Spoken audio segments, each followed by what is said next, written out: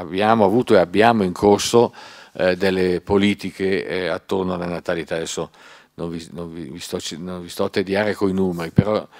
eh, sulle strutture utili a saperlo in Lombardia noi abbiamo 284 consultori familiari pubblici e privati accreditati. Qui, di qui passano più di mezzo milione di persone all'anno e questa è una delle eh, iniziative su cui eh, ho incominciato a lavorare ma su cui non sono ancora arrivato a termine perché il consultorio è, eh, secondo la mia visione, uno strumento che può essere fondamentale proprio per fare la politica della famiglia. Ehm, perché dico questo? Voi sapete che i consultori sono ad oggi quasi esclusivamente delle strutture che si occupano di sanità. Sono nati, sono stati valorizzati quando con la legge 194 è stata introdotta eh, l'aborto lega legale, l'interruzione volontaria di gravidanza nel nostro sistema e per ottenere eh, l'autorizzazione all'aborto bisogna passare dal consultorio con, delle, eh, con, dei colloqui e quindi il consultorio ha preso un po' questa piega, questa piega molto sanitaria, oppure anche una specie di poliambulatorio diventato per, le, per molte donne straniere che non, non, sanno dove rivolgersi e quindi utilizzano il consultorio. Però il consultorio può avere una potenzialità più grande, senza togliere questa, che, che c'è, che va, che va salvaguardata e mantenuta, ma può avere una potenzialità più grande che è la potenzialità di un punto di appoggio per la famiglia, soprattutto per quelle famiglie che oggi sono più fragili, che non sanno a chi rivolgersi, perché non sempre eh, resta viva, forse nei paesi eh, questo è, è, ancora più, un po' presente, ma lo è di meno nei grandi agglomerati urbani, eh, famiglie di giovani che si trovano un po' eh, senza più i rapporti parentelo, senza più rapporti di vicinato, che in caso di bisogno, di fronte a una difficoltà personale, per esempio una difficoltà in famiglia tra i coniugi, una difficoltà nel tirare grandi i figli, eccetera, non sanno a chi rivolgersi per eh, trovare un aiuto eh, io vorrei che il consultorio in futuro diventasse capace anche di dare questo tipo di risposta. Abbiamo pronta una, una proposta di legge nuova su questo, ma il tempo, la scadenza del, del mandato elettorale della legislatura non ci, ha, non ci ha consentito di farla. Penso, spero che potremo riprenderla, riprenderla in futuro. Niente, eh, dico ancora eh, due cose spot, poi eh, mi piacerebbe se ci fossero anche delle domande perché così approfondisco i temi che vi interessano di più, perché se vi faccio l'elenco delle cose ci annoiamo eh, tutti quanti perché ce ne sono veramente tante. Parlo di due cose ancora, parlo del buono famiglia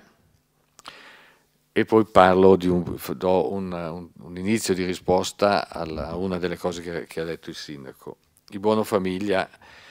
eh, nasce da questi due anni di crisi, insomma. Eh, lo scorso anno, proprio ragionando sulle, sulle, sugli impoverimenti, eh, che ci sono come trend naturali, sono realtà di povertà sempre, ma con la, la, la crisi economica questa cosa si è evidenziata e eh, dai dati statistici, insomma, dalle informazioni che, che avevamo, una delle, delle categorie più a rischio era proprio la famiglia numerosa.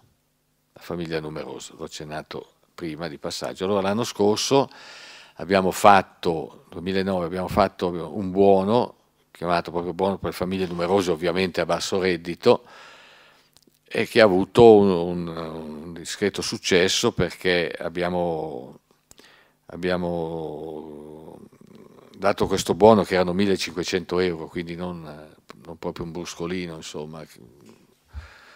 un, un, contributo che poteva essere di aiuto, perché quando si fanno queste cose o si dà un aiuto vero oppure si rischia di essere un po'... cioè costare tanto chi lo dà e, e non dare soddisfazione a chi lo riceve. No? Invece 1500 euro ci sembrava un contributo forte, abbiamo più di 17.000 famiglie ne, hanno usufruito parte stranieri, ma, la metà anche italiani, quindi, perché un reddito era molto basso Eh, quindi a dimostrazione che non sono solo gli stranieri che, che hanno tanti figli, sono, questo andava dai tre figli in su, ci sono anche molte famiglie italiane che ancora fanno uh, l'investimento sui figli, ma quando poi la, la, la, la, difficoltà eh, stringono c'è bisogno di intervento, questo è l'anno scorso. Quest'anno invece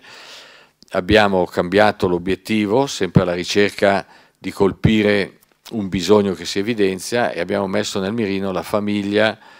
con un anziano ricoverato, vuoi nella casa di riposo, vuoi in una residenza, oppure un disabile ricoverato nelle RSD, nelle residenze per disabili, perché sia nell'RSA che nell'RSD voi sapete che si paga una retta e questa retta eh, varia da, da, casa a casa, da, da residenza a residenza, ma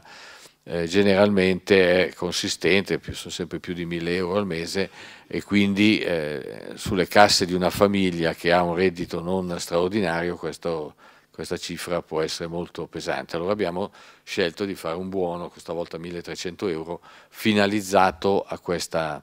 È chiaro che i buoni, la politica dei buoni è una politica di emergenza, di emergenza e quindi eh, la terremo aperta fin quando questa emergenza c'è, ma la mia idea, e che abbiamo già incominciato in parte a, a perseguire, è quella di arrivare a una collaborazione degli, di tutti gli enti che si occupano della famiglia, perché questi li abbiamo fatti noi come regione, ma moltissimi comuni che sono i titolari poi dei servizi sociali in prima, in prima fila, eh, molti comuni hanno fatto provvidenze analoghe, buoni o iniziative molto simili. E sarebbe molto bello, stiamo lavorando con l'associazione dei comuni e anche con i sindacati, sarebbe molto bello riuscire a coordinare le iniziative in maniera tale che non ci siano territori in cui ci sono più in iniziative oltre a quella regionale e territori invece dove se non arriva quella regionale non c'è niente.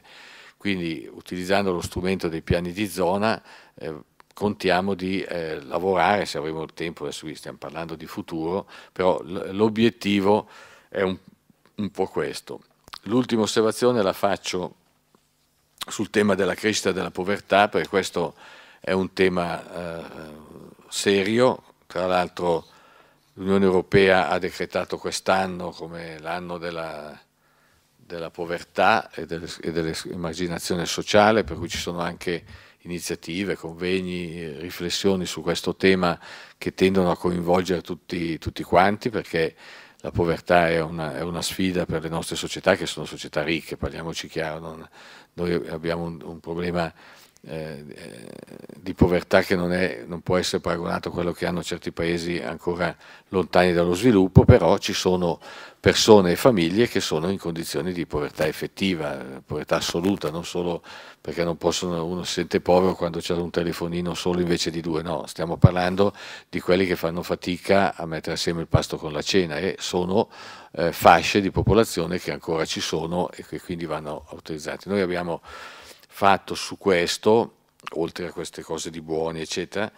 abbiamo eh, stabilito un rapporto stabile, eh, abbiamo convenzionato, eh, accreditato direi, la, la, la, la, Fondazione Banco Alimentare, che voi sapete raccoglie eh, prodotti alimentari per distribuirlo alle eh, famiglie, alle persone più bisognose, più povere e quindi questo diventa uno strumento, non è l'unica possibile risposta, ma diventa uno strumento importante proprio nella uh, politica di lotta alla povertà, alla povertà più estrema. Ecco, quindi eh, questo tra l'altro consentendo, visto che poi attorno a queste iniziative ruota sempre una grande quantità di persone volontarie, eh, valorizzando quello che nasce dal basso si risponde anche meglio ai problemi. Ecco, non so se sono riuscito a darvi un'infarinatura di, di, quello che, su cui stiamo lavorando, io mi fermerei qui perché eh, mi piacerebbe sentire da voi qualche provocazione per consentirmi qualche approfondimento. Grazie.